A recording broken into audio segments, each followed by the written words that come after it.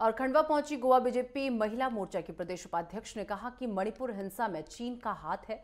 उनका मानना है कि इस घटना के पीछे चीन की बड़ी साजिश है। चीन उन्नीस से ही इस साजिश को अंजाम दे रहा था। उन्होंने कहा कि मणिपुर में आज जो भी हो रहा है, वो सब वहाँ पहले से ही होता चला आ रहा है। मौजूदा सरकार का इससे कोई लेना देना नहीं है।